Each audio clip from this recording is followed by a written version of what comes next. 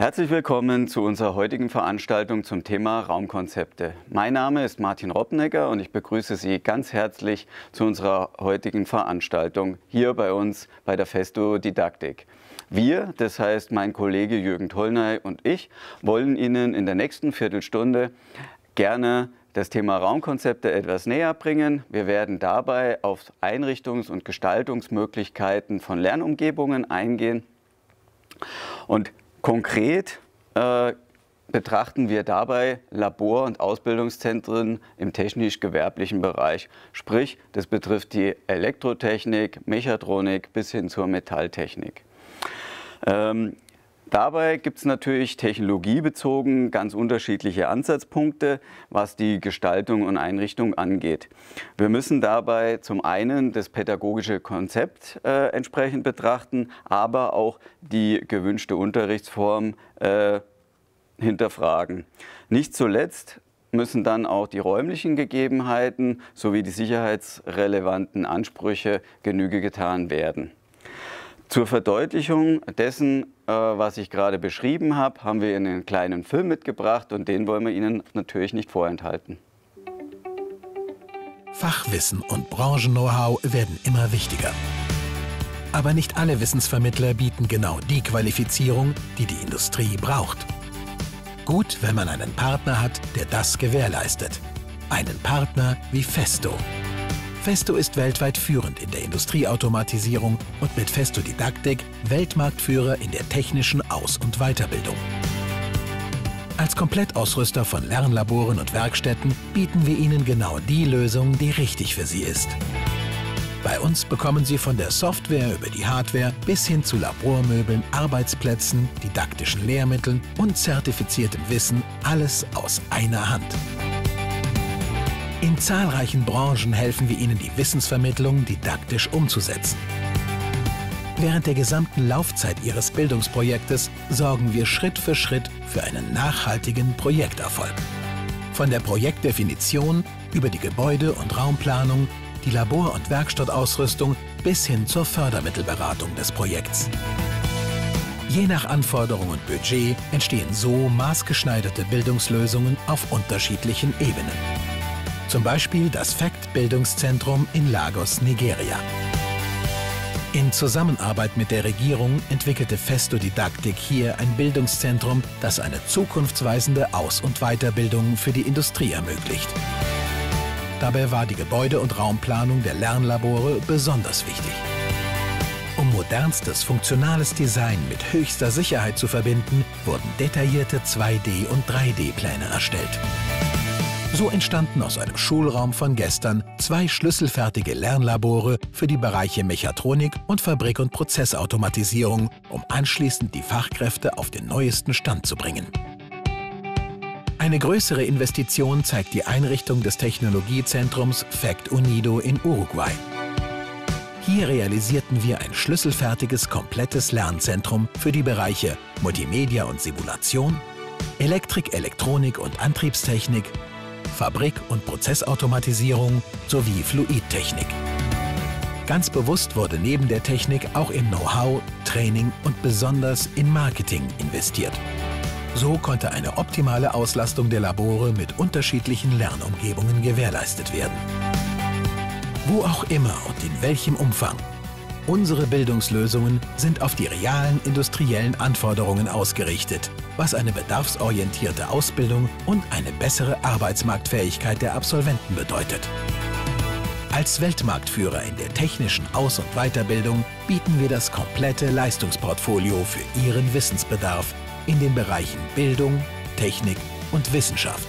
Alles aus einer Hand.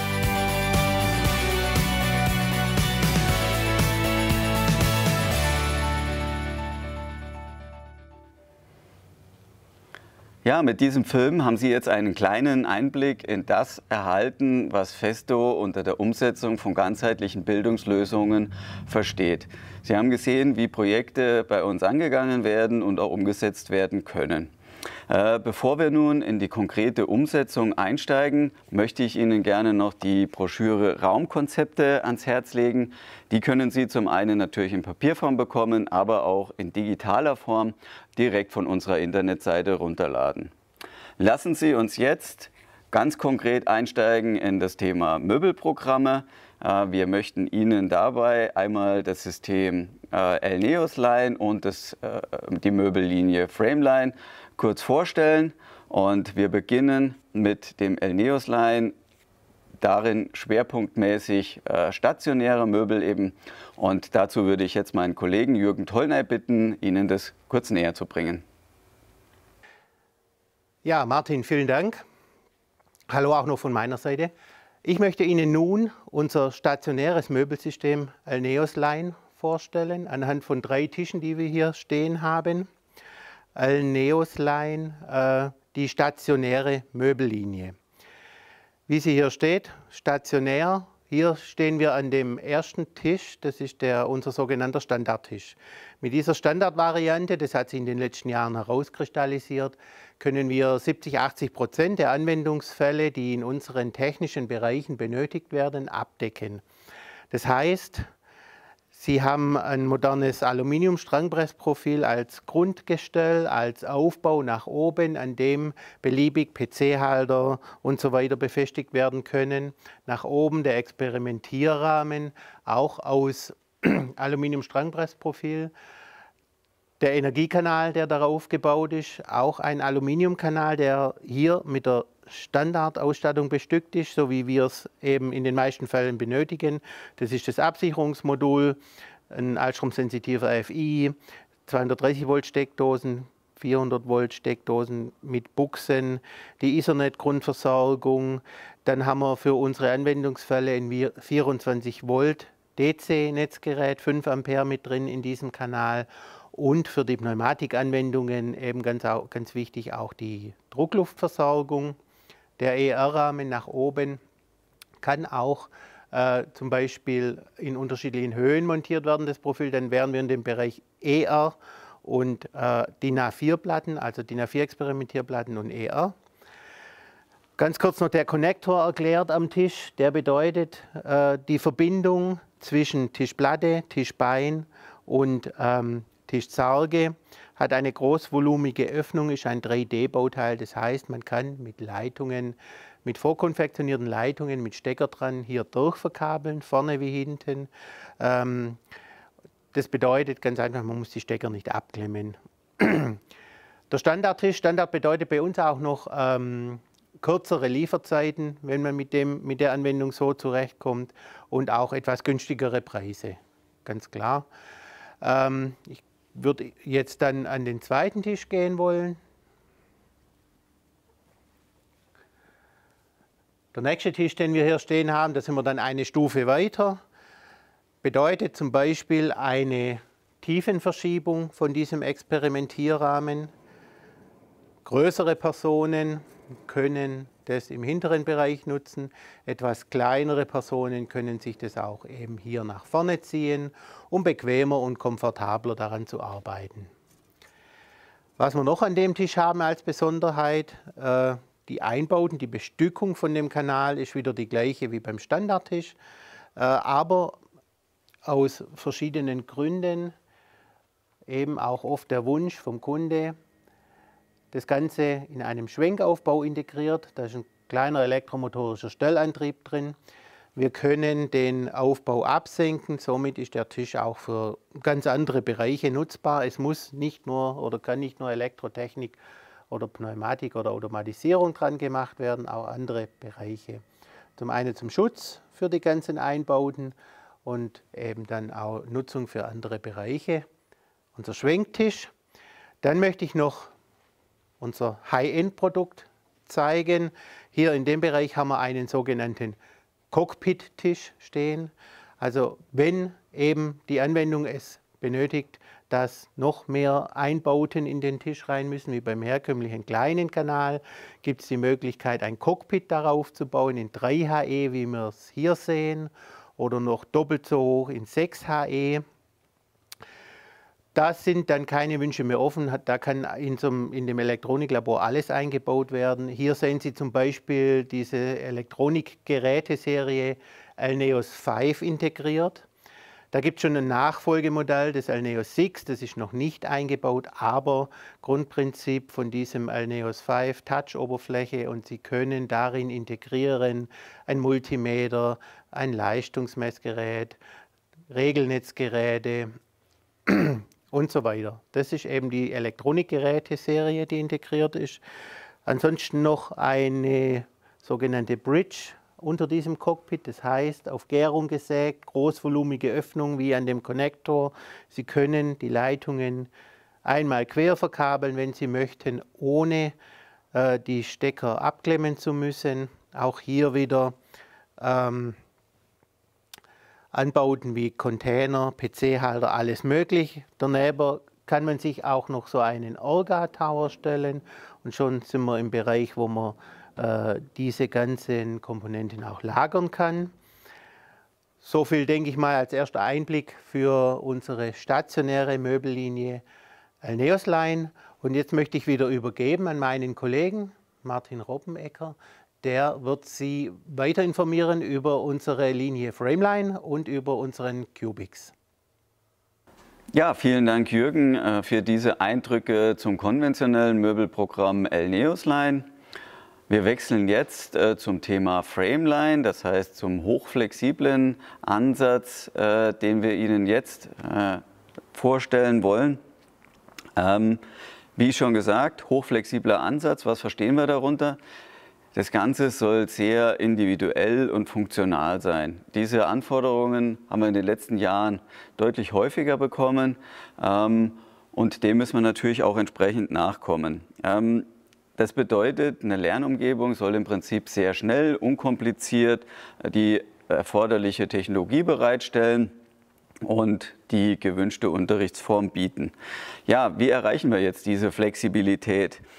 Wir haben uns da bereits 2015 ähm, einige Gedanken dazu gemacht und einfach mal analysiert, wie sind denn unsere üblichen Räumlichkeiten der Elektrotechnik, Mechatronik oder auch Metalltechnik äh, ausgestattet ähm, und haben dabei relativ schnell festgestellt, dass sich diese Einrichtungen auf etwa vier wesentliche Bausteine reduzieren lassen. Und diese vier Bausteine möchte ich Ihnen jetzt mal kurz vorstellen. Wir brauchen in der Regel in diesen technologiebezogenen Räumen eigentlich immer einen Arbeitstisch. Das heißt, ich muss irgendwo äh, meine Lehr- oder Lernmittel bzw. meine Arbeitsunterlagen eben platzieren.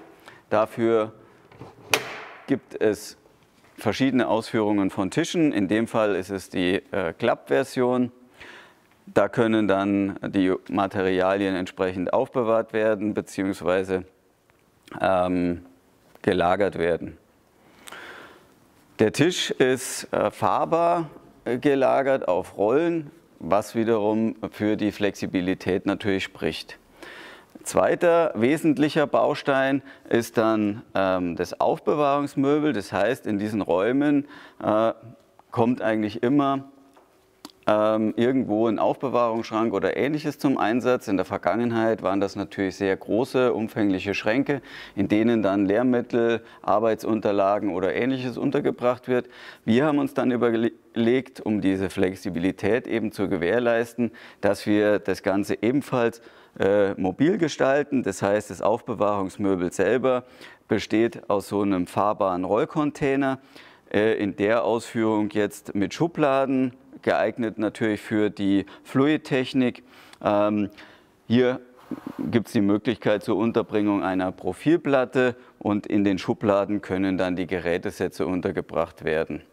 Ähm, das ist die zweite wichtige Komponente. Die dritte Komponente ist dann der eigentliche Lernsystemträger. Das heißt, wir haben immer äh, in solchen Räumen ein System, auf dem unsere Lernsysteme äh, platziert werden müssen. In dem Fall, wie Sie hier sehen, äh, DIN A4-Komponenten. Das heißt, ich habe zwei Zeilen, wo diese DIN A4-Experimentierplatten untergebracht werden können und im oberen Bereich nochmal die Möglichkeit, ER-Komponenten, wie wir sie verwenden, einzusetzen. Ähm, der Lernsystemträger selber verfügt auch über einen entsprechenden Energiekanal. Äh, der kann im Prinzip individuell bestückt werden. Wir haben den aber mal so vorbereitet, äh, dass wir ca. 80 bis 85 Prozent aller Fälle damit abdecken können. Das beginnt im Prinzip vorne mit einer entsprechenden Schalteinheit, äh, mit Notaustaster. Wir haben dann den Anschluss für 230 Volt, 400 Volt auch über Laborbuchsen geführt, geht dann auf die Datenanschlüsse über ein 24 Volt Netzteil bis hin zu äh, Druckluftanschlüssen. Und das Ganze wird dann über einen sogenannten Multifunktionssteckverbinder ähm, an eine Energieversorgung angeschlossen. Wie sieht jetzt diese Energieversorgung aus? Das ist dann im Prinzip die vierte Komponente, die wir an der Stelle benötigen in all unseren Räumen. Und das lösen wir so ähm, über ein Deckenversorgungssystem damit eben auch keine Anschlüsse vom Boden erforderlich sind und wir gewährleisten können, dass die ganzen Möbel entsprechend flexibel ähm, und individuell verfahrbar sind. Das Deckensystem sehen wir dann hier, einen Ausschnitt, ähm, das ist im Prinzip der Powerlift-Arm, der kann auch bei, wenn er nicht gebraucht wird, nach oben geklappt werden und bei Bedarf lässt man den einfach nach unten. Dieser Lift kann im Prinzip individuell mit Armaturen bestückt werden. Wir sehen auch da Anschlüsse für 230 Volt, äh, Datenanschlüsse, auch Druckluft bis hin äh, eben zu diesem Multifunktionssteckverbinder kann dort alles äh, untergebracht werden. Äh, das Gesamtsystem erfordert nur einen einzigen Anschluss im Raum. Das heißt, ich kann einmal ganz zentral einschalten und damit äh, das System mit Spannung entsprechend versorgen. Das sind im Prinzip diese vier Komponenten, ähm, die wir für das flexible System nutzen und äh, ja, was das Ganze auch zu einem runden Konzept im Prinzip macht.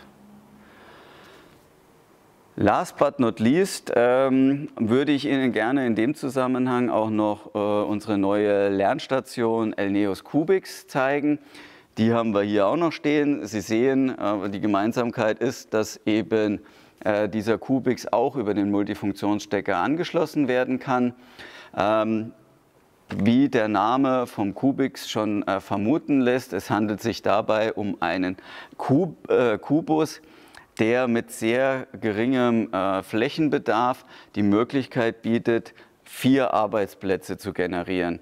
Das heißt, wir sehen hier einen kleinen Ausschnitt ähm, vom Kubix, ähm, der die Möglichkeit bietet, verschiedene Technologien natürlich zu realisieren. Ja. Wir haben einmal hier dargestellt das Thema der Fluidtechnik. Die Profilplatte kann hier beispielsweise schräg eingestellt werden, kann natürlich auch senkrecht am Kubix befestigt werden. Der Kubix selber besteht eben aus diesem äh, Basiskorpus, hat dann vier Flügeltüren, die äh, verschieden geöffnet werden können bei Bedarf.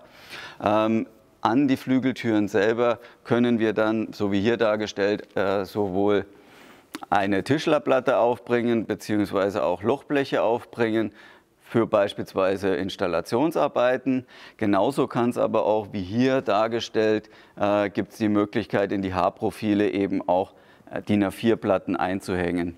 Wir sehen dann im Innenbereich vom Kubus noch die Möglichkeit, hier sind Nutenmatten eingebracht. Das heißt, wir haben dort nochmal einen separaten Stauraum wo DIN A4-Platten oder eben auch, wie hier gezeigt, ähm, diverse andere Dinge aufbewahrt werden können. Das Schöne dabei ist, dass auf jeder der vier Seiten eine eigene Energieversorgung äh, vorgesehen ist. Auch die ist ähnlich wie beim Frameline ähm, ausgestattet mit Notaustaster. Wir sehen dann weiter unten auch ähm, die Schokosteckdosen, Druckluft bis hin zu 400 Volt Anschlüssen. Spannend ist noch äh, abschließend hier im oberen Bereich haben wir dann äh, eine Arbeitsplatzleuchte, die nach unten strahlt, vorgesehen. Und darüber das blaue Licht, was Sie jetzt sehen, ist eine Zustandsanzeige. Das heißt, über dieses Indikationslicht kann ich verschiedene Signale am Kubis anzeigen lassen. Zum Beispiel, wenn äh, sich der Spannungszustand verändert von dem System, dann kann man das dort entsprechend äh, anzeigen lassen. Das soweit äh, zu diesen Systemen aus dem Bereich der Möbelserie Frameline beziehungsweise die Neuheiten äh, zum äh, Neos Cubix.